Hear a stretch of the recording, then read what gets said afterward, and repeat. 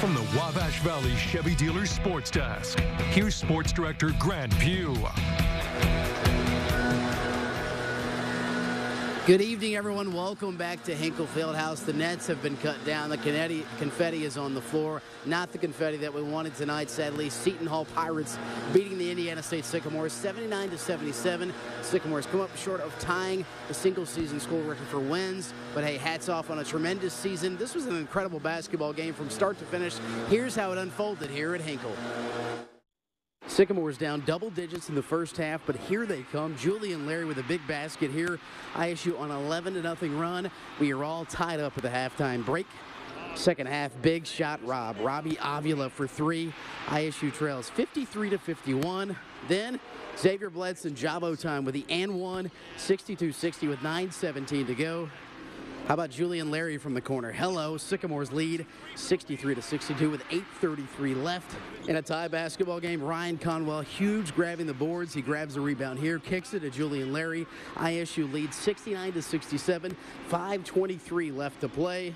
Down by one. How about Jayson Kent with a basket? Indiana State leads 71 to 70.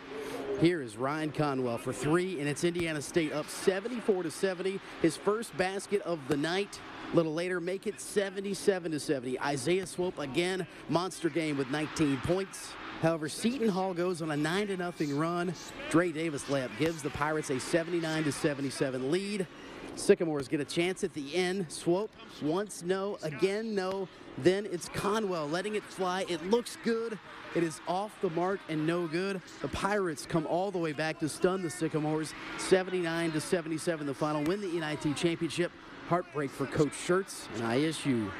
Yeah, I think you know time is a way to giving perspective to things. Um, right now, you know, um, it's too too close. Um, you know, and to lose that way when you you know you pour everything you have into it and you feel like you know, I mean, uh, swope shot goes in. We felt like, you know, we were in great position to win. We've closed those games all year long, you know, up seven with, with 2.50 to go. And uh, we just, you know, did, not make plays down the stretch. And, and the credit Seton Hall, they did. But um, but it's been an amazing run, uh, an amazing journey. And, and to go on this with this team, what they've done for uh, for our program, what they've done for Indiana State, what they've done for Terre Haute, what they've done for me um, you know, could never never be repaid. I mean, it's a it's a um, to, the ability to come to work with this group 10 months uh, and and every single day and just enjoy every one of them is is is uh, mind-boggling and uh, it's it's um, something I'll never forget and I think it's something that uh, the people of Terre Haute you know will, will, never forget either. It's it'll be right there with that um, you know the 79 group in terms of you know man what a, what a, what a great you know what a great run what a great journey. And people will talk about you know where they were when it happened. And these guys have forever etched themselves in, in history and created an incredible legacy.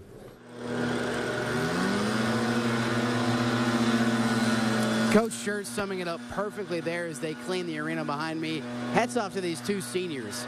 Of course, Jabo, Xavier Bledson, six years with Coach Schertz, three here at Indiana State, and Jake Wolf, who is now second all-time in games played in NCAA men's basketball. A long ride back to Terre Haute tonight, but so much to be proud of for this season for this Indiana State men's basketball team. Now, People asked Schertz about his decision coming. He said he's not going to make a decision about his future tonight. Going to take some time, turn his phone off, and then he would like to make a decision. Is he coming back to ISU? Is he possibly going to St. Louis?